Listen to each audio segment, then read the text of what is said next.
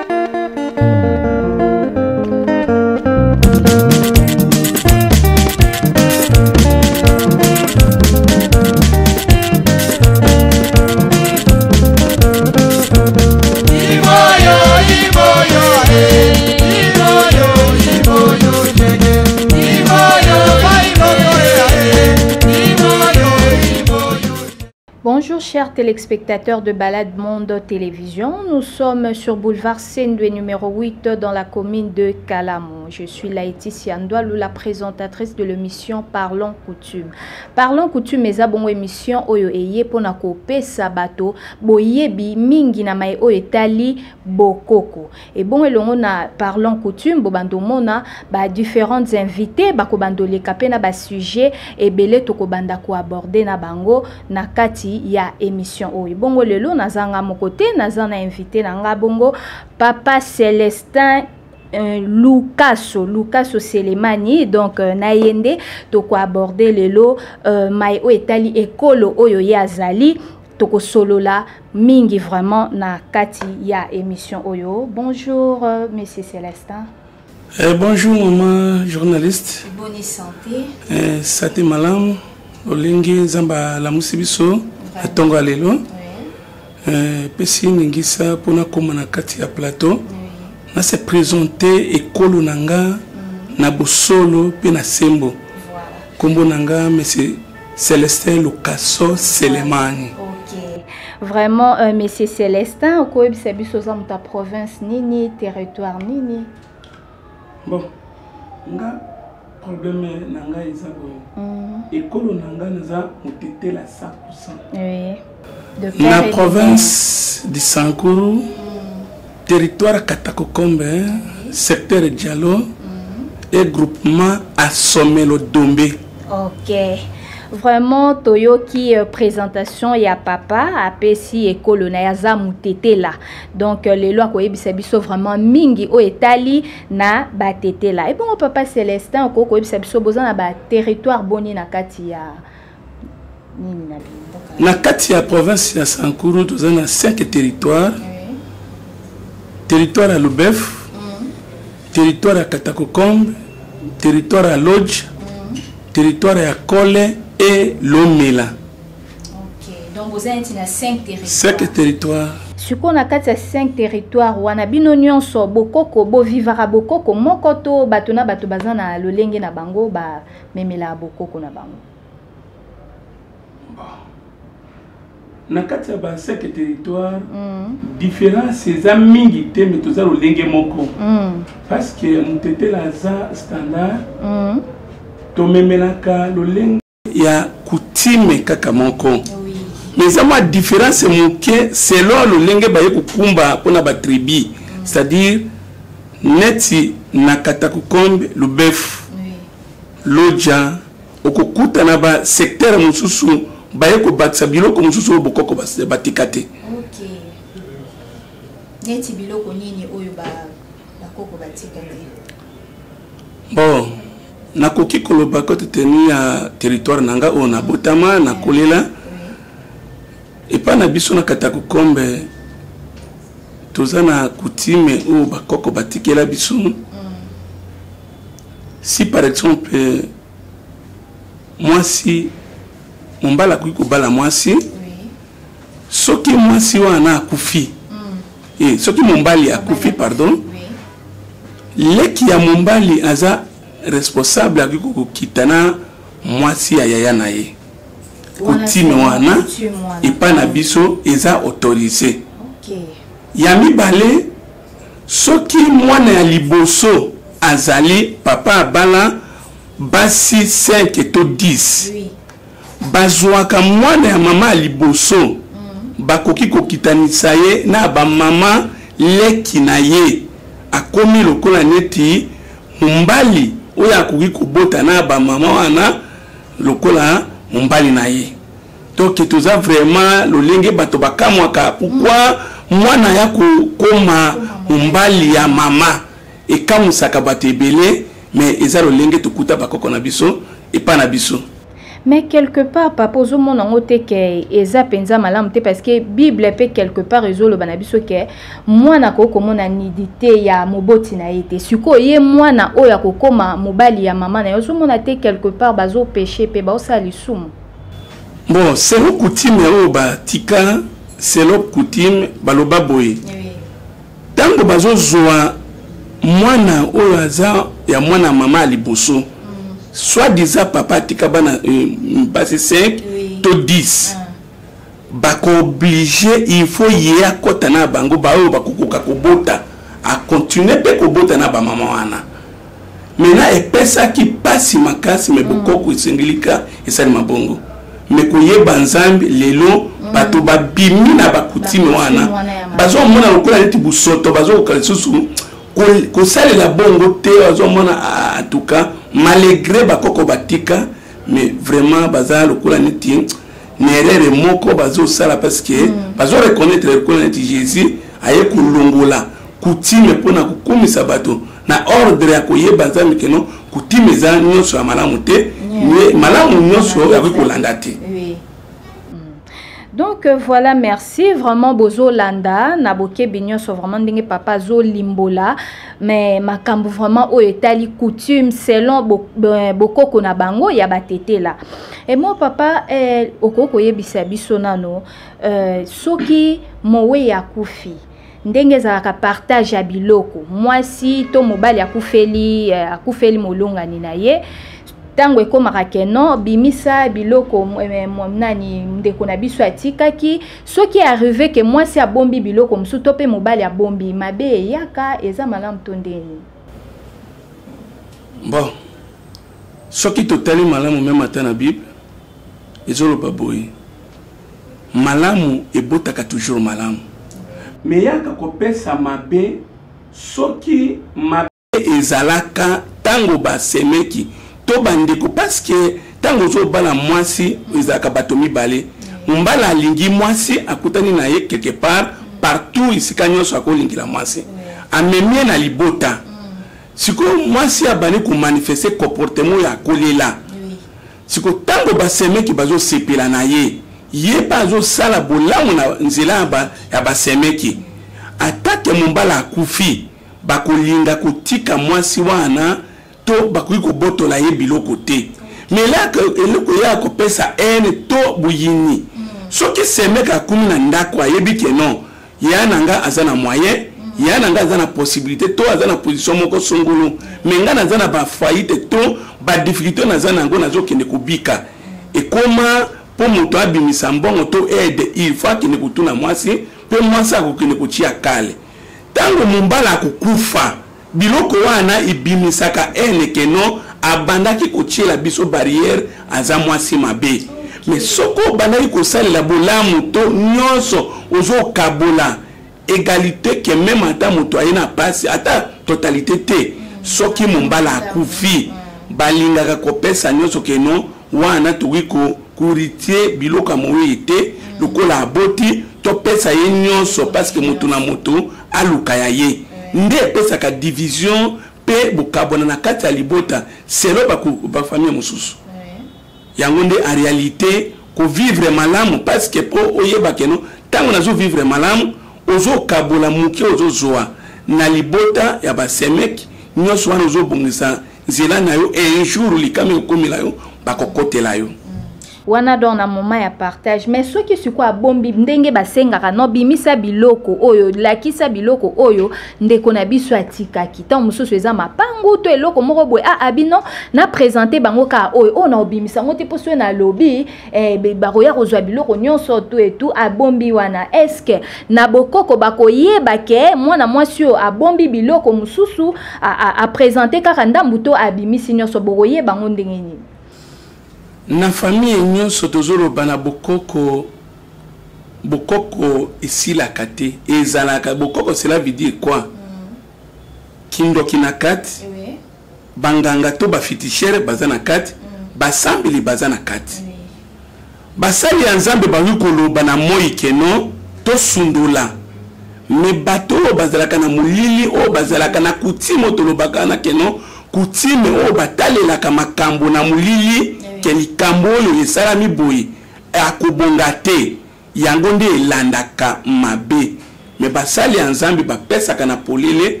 mosala ya mosala ya Nzambe, basali ya Nzambe, bato oyo basambelaka na kati ya kutime wana balobaka kaka keno tosundola kaka totika. Me eske tata mwasi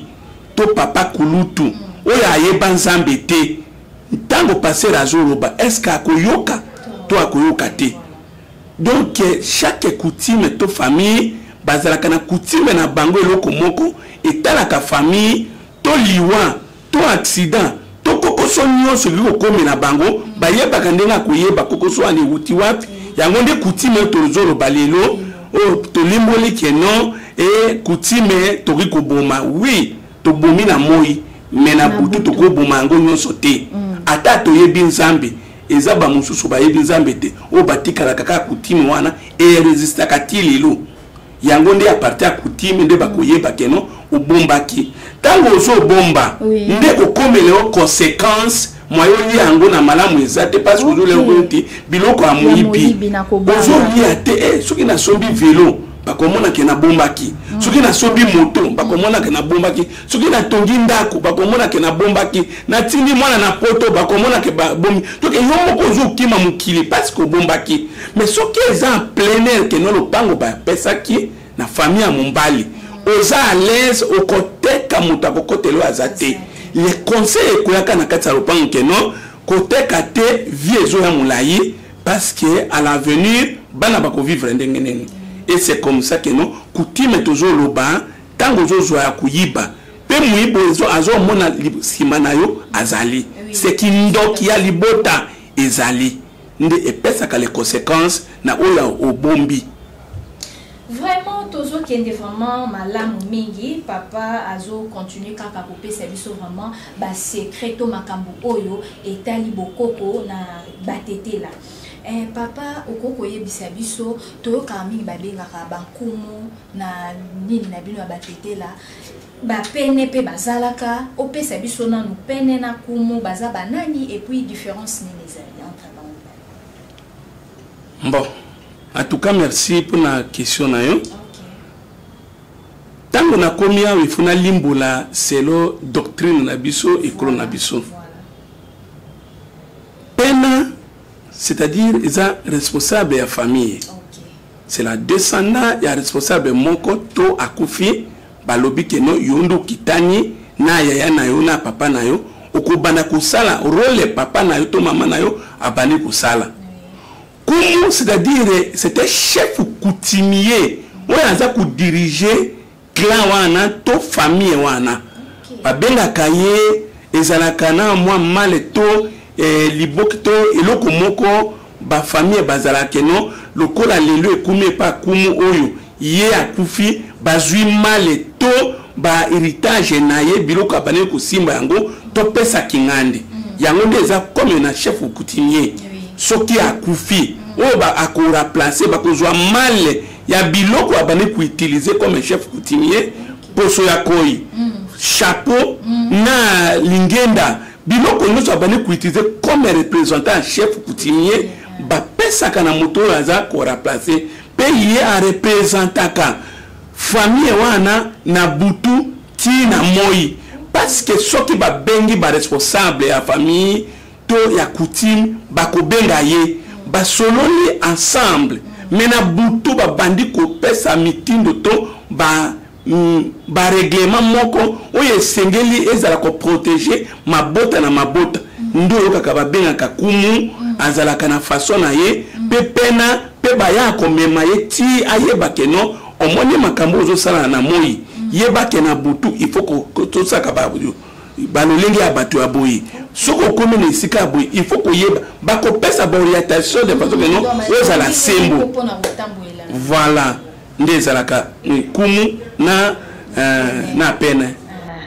ah. ok vraiment papa tozokoba kaka na kati ya émission na biso eh, papa sikoyo tomonaka mingi na ba cérémonie nyonso presque batetela basalaka eza na nini mbunda moko boye ebetaka wana ezaka na papa moko boye alati comme ba chef coutumier bayaka na mbunda bazobeta eza meme na bafete eza na bamatanga mekano kopesa biso signification yango ezalaka nini eza na matanga eza na feti mbunda wana ok merci mpo na question mm. liboso ntango tobandaki kokola na bolenge na biso na age oyo tokoma tobandaki kovivre na lokole okay. na mbunda na elonja donc eza biloko wana ebandaki kotransmettre bamessage chaque village mm. ekokenda awa ti meme ata kikwiti mm. bazotransmettre message mm. à partir ya mbunda to tamutamu to eh, eh, lokole akobeta awa ke non comme exemple que non c'est monsieur Celestin Lukaso yeah. mwana Kingani pena Kingani famille tele awuti kukufa akufi na tele tele tele village wana masina azwi mm. atransmettre kuna azwi atransmettre kuna azwi atransmettre okomona un chef coutumier mm. oyo ya kikwiti mm. akoya na matanga to message wana apartir ya transmission ya message sur le lokole to elonja yango nde omoni sur le développement biloko wana ebandi kodiminue toye kotikala makambo ya foni tolongwe na makambo ya foni ekomi elonja na ntambutambu tokomi kobeta na baseremoni nyonso oyo etali ya baekolo ya batetela mm. chaque fete nyonso okomona elonja eh, biloko moko basala lokola eh, biloko mibale wana na bapete azobeta azobeta okomona soki me matamu tetela afandi ifo atelema ayoki chef de poule etelemi parce azokanisa keno mm. bokoko na biso nde ezobeta e soki ozobetele quelque soit na fete mm. ata aza na mbongo il faut apesa donc c'est une joie moko ya, ya coutume oyo akolela mm. oyo ayeba mais lelo tolongwe na makambo wana baye komemela biso foni foni ekomi na badifficulté tokomi na batelefone en même moment ndenge bakoko na biso batikela biso mpo na kotransmettre message ifo na mbunda to na lokole e soki seremoni nyonso ekozala bakobeta yango de façon ka kolakisa critère ya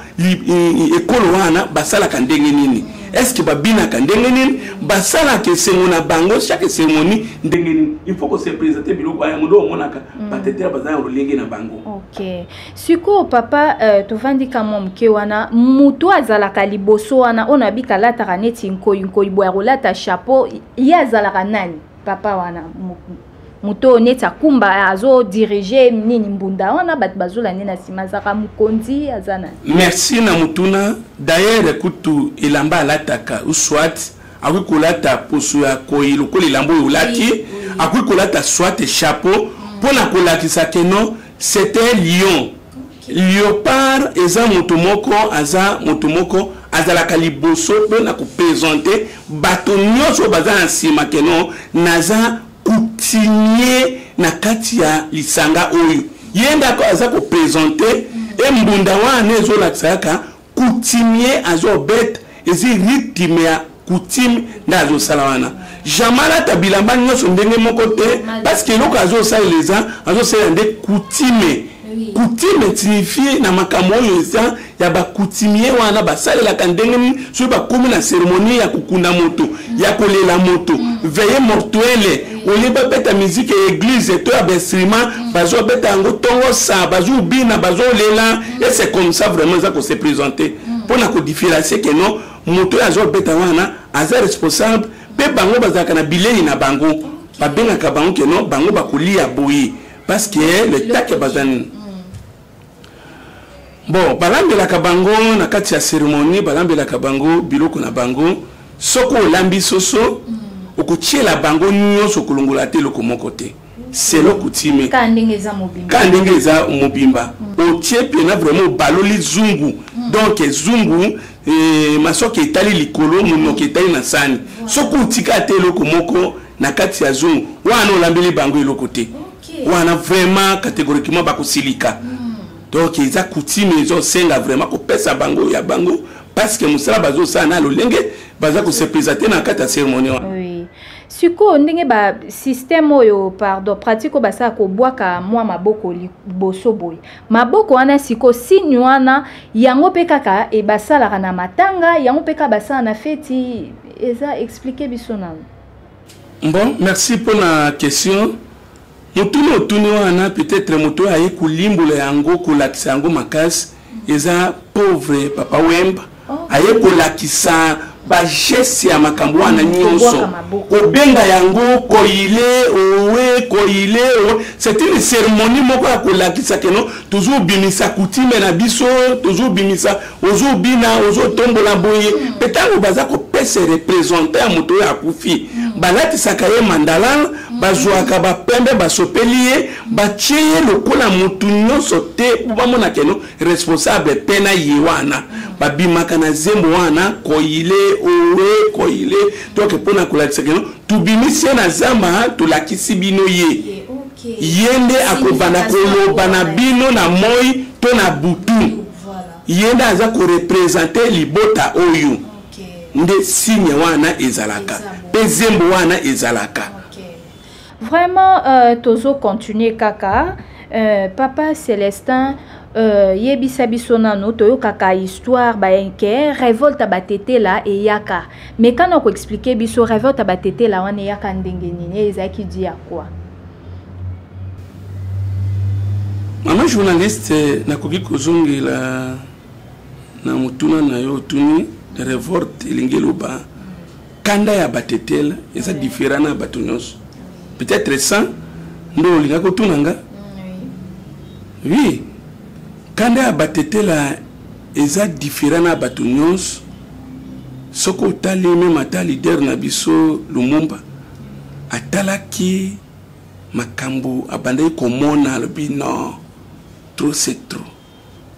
ba belge babandaki kozala soki moto akufi mm. bazo torte tire moto ntina liwa keno okimi mosala ya nanda okweyi nde mosala donc il faut lumumba atali boye alobi ya ah, non vraiment boye te onyokoli moto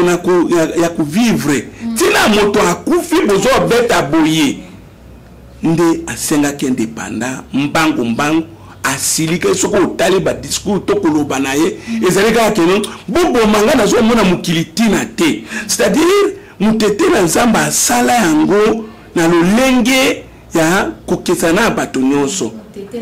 e mutetela la signification ya mutetela eza nde tetela c'est-à-dire tete dure tete dure nde ye kosignifie wana mutetela tetela tete tete dure donc ezalaki ozoyebisa ye me ye azosala lolenge na ye ah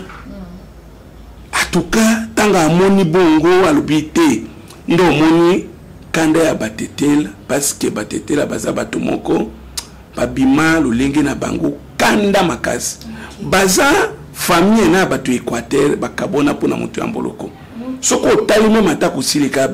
baéquatorien mm. Olobi que non mungala azalaka vraiment chaud chaud et mutetela ndenge moko parce que baza bato ya libota moko mama moko papa moko me baye kokabwana parce que ezalaki oyo chaud oyo chaud nani akoki kosimba moninga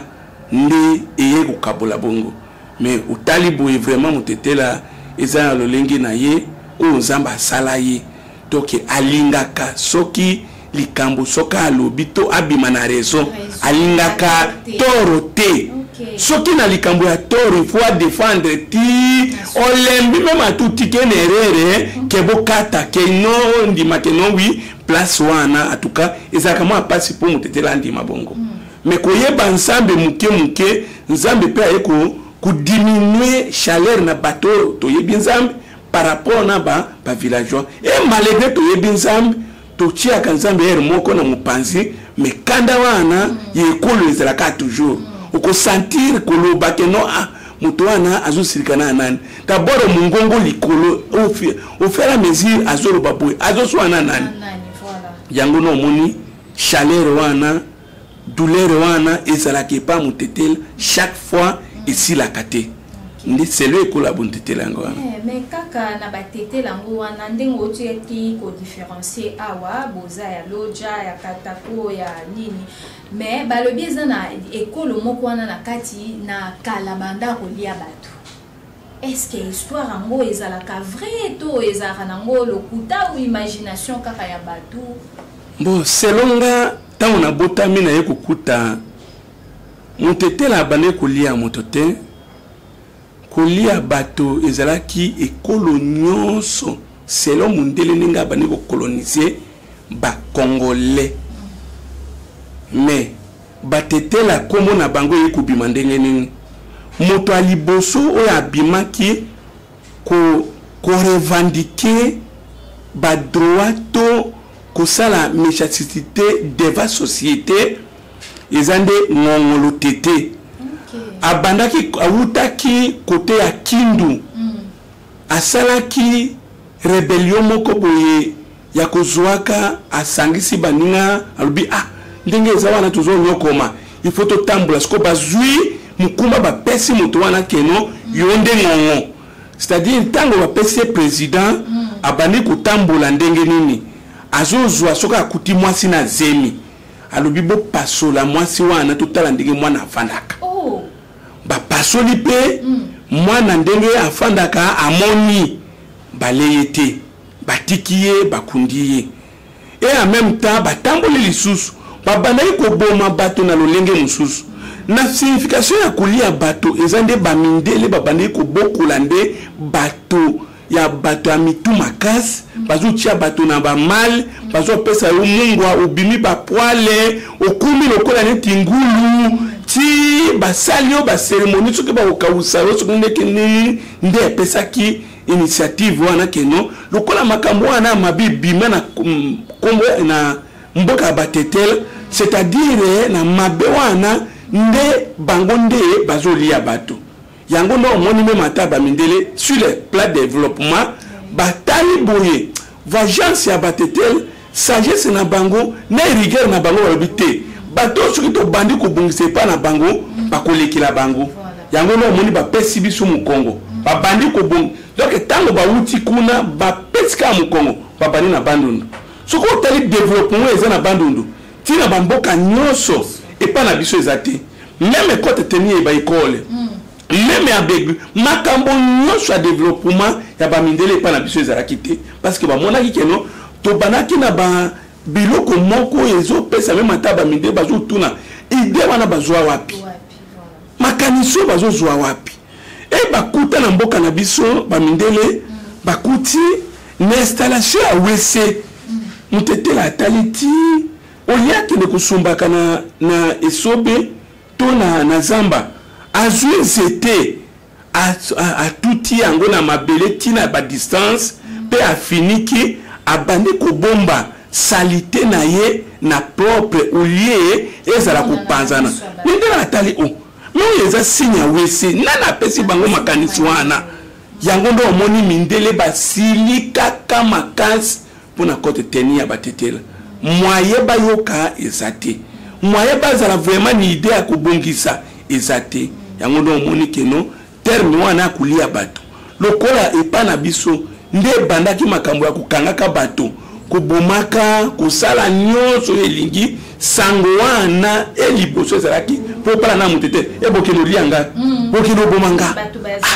okokende ndenge nini waka mwana esi eleka no batetela baliaka bato me kokuta moto etela azolia moto boye te e akawisi te e asali kabri lokola bachinois non kaka sango ya koyoka keno kuna probleme ya kuna batetela bazoboma mwasi na zemi babomi me batiki ye e moto nyonso akokuta soki balobi kiboma ye bakoboma nde bamindele bazwa ide wana bapanzi sango nde baye baye kotala keno batetela atuka baza méchant nde sango epazanaki me ya kolia bato na kwanga to fufu to nini atuka moto etela asala yango te vraiment balanzi ya balade bocomprendre que batetela baliaka bato te bolongola eloko wana na motu ndenge monsieur celestin auti vraiment kolimbola yango na bozindo toyebaki te biso nsutu toyebi vraiment kocomprendre lelo uh, papa celestin eloko nini esalaka force ya batetela ke ba, ba, ba, ba maintenir na bacommerce na bamakambo na bango ebele ebele ok merci ti jusqu'à présent ndenge naza na kinshasa namimonaka kaka naza mopaya ata naza na ndako na nga nasomba lopango me naza omona lokola ete naza mopaya nakokende kosentir keno naza epai na biso soki nazonga na mboka yango nde ozomona motu nyonso motetela aza na fort fort mpe efort ya kosala kaka keno naza mopaya na mboka ya bato sikoyo kolia ya bato e makambo nyonso kura ya bato mai ya bato biloko nyonso ya bato ndako ya bato il faut nasala effort na combattre parce que naza mopaya e tolobaka kutu keno toza baliki ya nzela toke nano tokomi na destination te esika ya kopema eza te esika ya kopema eza te yango nde ozomona motetela nyonso partout aza na effort ya kosala kocreye mpe kozala mpe moto parce que moya kotikela moninga nzela eza te babe bolingaka mpe nini bapharmacie mingi bolingaka pharmacie mingi motetela vraiment kote pharmacie ye asakanaka te donc euh, quelque part eza ndenge na bino kaka ou bien boetudia eloko moko nde esala ke non bomoni ke na domaine wana nde bokoevolue malamu ni tete ya koevolue ma eza nde kotala ndenge bakoko babandi kokufa mpo na kobela sikoyo badecouvrir ke non il faut tokɔta na mozindo mm. na médecine mpo te baninga kocombatre d'ailleurs eza kaka mpo na médecine kaka te mm. ti meme ata na badepartement nyonso na commerce tozali bilamba tozali na bakadafi koloba nini tozali partout tozali na politike kutu koloba te donc tozolinga kotika ata epane esika moko bato baza te nde batetela vraiment vision na bango yango wana il faut akotisa motu mpo ayeba eza nini parce que alingi moto akokosa ye te e departement wana ezalaka non nayebi kende otuna kingani soki olingi oyeba kende otuna kingani parce que aza kuna yango omoni évolution na biso partout eza kaka batetela bakoki kotikala te mpe bazalaka majorité meme ata nzela oyo soki nalingi kopesa yo ndakisa mm. na nzela ya mai liboso ezalaki ndenge nini ezala meme ata baavion ezala meme ata babarrière baye kocreye makasi e bamasuwa batetela baza na yango lokola neti ebele mm. eza te ke bango nde baza na mbongo ebele te me baza na souci ya signe ya developpement mpe ya sociale moto azolinga ke ah oyo oh, ngai moto nasunga ye e eh, bamama oyo vraiment ngai moto namema bango na masuwa na ngai e eh, na motuka na ngai e eh, voilà c'est comme ça le succès ya moteteli alingaka mpo bakumisaka ye na département moko boye ke azala lokola neti na se hmm, ayokaka succès ya baninga ezalaka te mm. nde omoni vraiment motetela sa comme ça bozalaka na mwa lolendo moko boye ya kobotama vraimen ya makila ndenge outi koloba wana euh, epuis babi bozalaka mpe na mwa tribalisme moko boye soki motete la place azali to eplace moko boye afréquente soki amoni mano bato ya bandeko na ye baza wana vraiment kosepela kokangama na bango makasi par rapport ya bandeko mosusu nazongi na likambo na yebisi oki ono toza ya koleka yango nde ozomona soki tomonani ezalaka lokola neti ah otiki nga boye ndenge nini ata ndenge biso toza boye eh. soki kaka tomoni kaka moto etela akoti eh. okomoni mere na nga echange ye esengo parceke namoni keno mwana mama na nga mpe toza na voyage tozoleka toyebi te nano tosuki te eza mboka bapaya awa tozalaka na bandako ya bakoko te bandako ya bakokola te mampango ya bakokola te toki tozomona toza kaka toujours bapaya siko ntango tokomaka quelque soit matanga manifestation nyonso okomona toza kaka maboke maboke masolo donc ozomona tribalisme ezokana tribalisme esengo eh, oyo azotuna ndenge nini na lomela ndenge nini na cumbe ndenge nini na kole ndenge nini na lubefu ndenge nini ah, kasi na lubefu oyebi makambo ebimaki wana donc tout le temps bokokutana wana histoire ibimi lokola ete bomona na kala donc boyebana te mele simple feke aza motete mpe mbala moko na kutuna yo oza motete na wapi ah, ndenge nini vraiment en tout cas na sepeli makasi oza ndenge nini osalaka nini ere mosusu mpe na branche ye na place moko nayoki kotika ye mpo asouffrir te e voilà ce sont les système ya social ya batetela yango wana nde omonaka ke lokola neti mwa tribalisme moko boye mpe ye kopesa ndakisa keno basi mosusu babandi kobanga keno nakobala na motetela te parce que fait de cote akoya kobala ndeko na ye mais otali malamu ndeko na ye azaka toujours ndeko na yo ndeko na azaka toujours ndeko na yo parceke nakoki kokende na ekolo mosusu mm. omemeli nga kutime na bino oyo ekoya kokale nga na baafere mosusu to quelque part mm. neti baekolo mosusu wana bazalaka wana keno soki kinsu non eh, na biekolo mosusu wana ezalaka nkombo nango nini wana eh, non ekolo mosusu wana soki obali mwasi mm. swadisa moyansi mm. bakomemela okeno azalaka titwidi me akoyebisa okeno nayeba nzambe nazalaka na nga bien eh, papa na kobotama awa mm. soki ale kitwidi eh, wana papa kulutu azo prepare bana aleki ne na ville mm. keno lokola na yoki aboti mwana mwasi bana mibale misato bamibali na bango bango awa mm. yo sikoyo ozosepela na mwasi osutuka boboti bana misato likambo aleyeli yo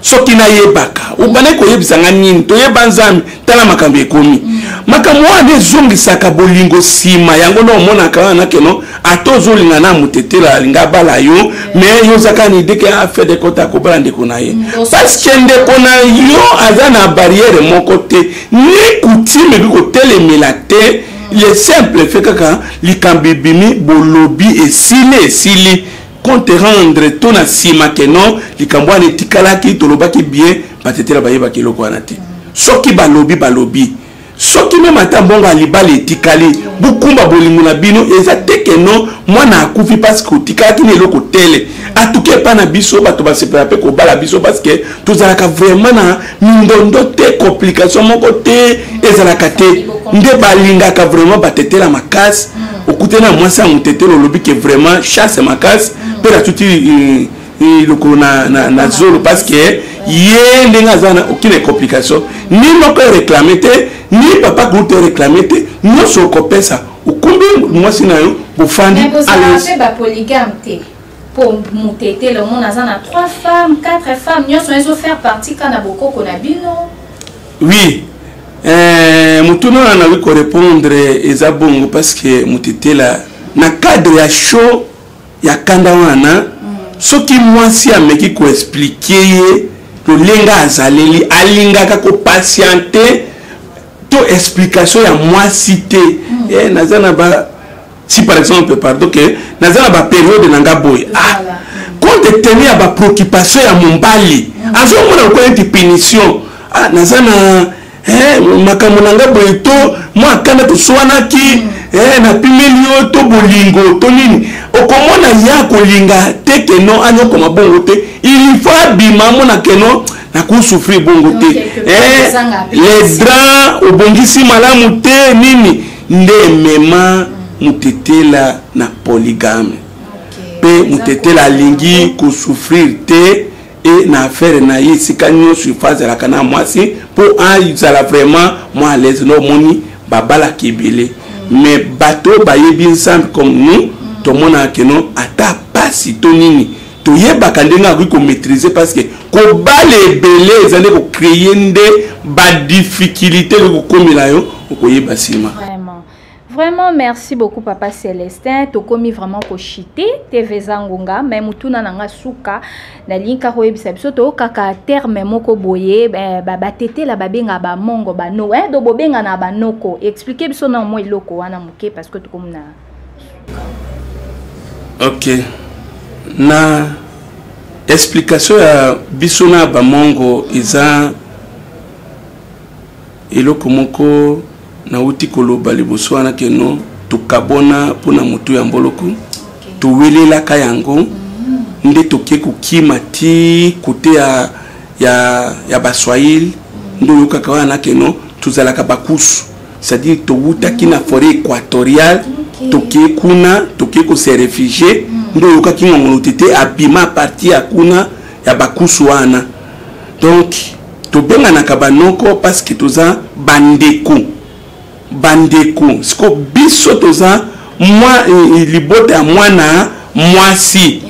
bango sikoyo yango nde omonaka soki mongo na motetela bakutani bango bazalaka na ambiance ya moko soit kofingana to nini mpo moto asentir ebembe ya motetele eza mongo ifo aya kokonza yango ndenge alingi parceke ndeko na ye nde akufi ebembe ya mongo eza motetele ya kokonza yango parceke ndeko na ye nde akufi siko olie ya kobenganaka grand frère na yaya nde oyokaka noko elekaka me toza bandeko ya na leki te toza na bamongo liboso kutu tobandi kobalana te soki okumi tobandaki kobalana te okokende voyage na équateur mm. okumi epai na ngai mm. namoni motetela aye ngai naza mongo nakozwa mwasi na ngai nakozwa ndako na ngai chambre na ngai mobimba natikeli ye dire nyonso akosala wana mm. akozala na mwasi na ngai lokola mwasi na ye makambo nyonso nde ezalaki dans les coutumes mais tellement ya kosambela elongoli eloko wana nde tokomi kobalana mpe tozwa opesana bambongo mais soki otali mbongo ya batetela na eh, eh, bamongo eza na ntina moko te sans complication nyonso okopesa opesi zwa ndeko na obokende kofanda Vraiment, merci beaucoup, euh, Papa Célestin. Balandi ya balade, bako retenir nini par rapport ya Autosoli Lelo et telle coutume. bon na kati ya émission oyo na remercier vraiment na chaîne oyo bala bala du monde tv parce que euh,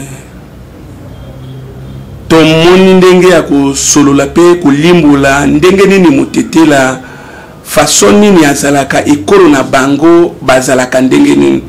bato oyo nyonso bakolanda biso bayeba keno batetela eza vi na bango bongo vi na biso eza bongo bato babambaka makambo mosusu bayebi te mais napesi une explication na oyo nayebi de façon que non epesa bato un plus maintenant nazongisi merci na euh, eh, journaliste na nga oyo oh, ayambi nga eh, responsable ya chaîne mpe ok nakobanda kozongela mpe komema baninga oyo bazalaka na bosenga ya kokende bisika mosusu bayaka awa mpo na koya kosala émission parce que eza chaîne moko eza vraiment efficacité eza abordable eza makambo nyonso vraiment ezoleka malamu vraiment na remercie bino vraiment merci tokomonana ok nalingi kopesa bandeko na nga oyo nalingaka ya liboso mwasi na nga oyo nalingaka makasi eh, c'est madame christine celestin eh, mwana na ye eh, ya ene eh, christian lukaso seleman ya mibale c'est anastasie lukaso ayaki e ya suka lukaso wa lukaso celestin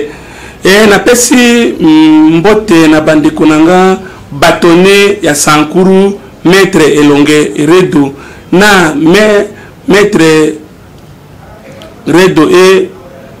eh, bandeko na nga mosusu oyo babengi marke osongo kumbaka na sankuru e napesi juge na nga maitre lomenge na kikole e napesi bandeko na nga nyonso mbote bisika bozoyani tokomonana mokolo ezoya merci na bino merci beaucoup euh, vraiment papa tosepeli na invitation na yo ndenge oacceptaki oya opartage na biso makambo oyo etali bokoko ya batetela vraiment napesi merci mingi na balandi nyonso to ya balade boza de partout toza na tiktok toza na youtube toza na facebook donc bokota na bareseau sociaux wana vraiment bokokuta nyonso oyo etali balade mon tv eza kuna donc là je dis merci à mon dg oyo azokontinue kopianga confiance mpe fidélité wana akozala liboso na bino